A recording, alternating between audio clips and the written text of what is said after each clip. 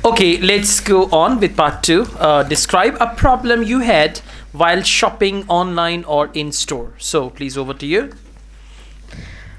I don't like to shopping online um, because uh, my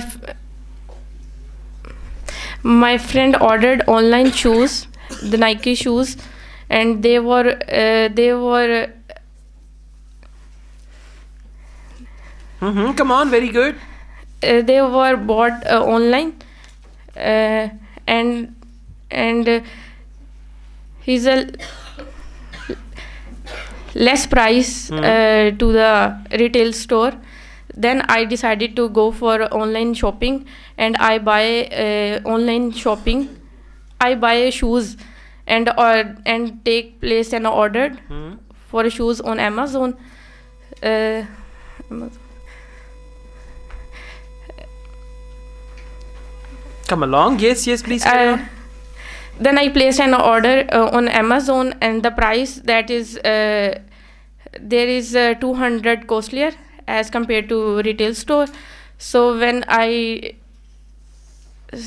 so Okay, thank you so much. Little better than before, but you'll have to work harder. Okay, on I your can speaking. speak more. I yes, want- you can speak more, but when you're taking pauses and breaks, examiner may stop you anytime. So try to speak continuously. They will not give you the luxury of taking as much time as possible and then you speak, okay? Now, let's move on to speaking part 3.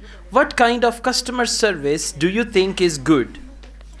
the customer service that is good is uh, quick and be uh, atta- attentively uh, and respond uh, quickly and the staff is polite the customer service Okay, there is no organization in your answer. You're sometimes making short sentences, sentences, otherwise only words. So you need to work hard with your basic English, okay?